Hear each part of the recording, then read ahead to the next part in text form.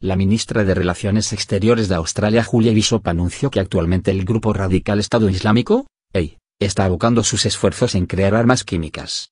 El uso del cloro por parte del Estado Islámico, el reclutamiento de profesionales altamente calificados y capacitados, incluso de los países occidentales, señalan los serios esfuerzos de ley respecto a la producción de armas químicas, señaló la ministra. Según la jefa de la diplomacia australiana, los yihadistas disponen de un número suficiente de especialistas para la producción de armas químicas, informa el diario The Straits Times.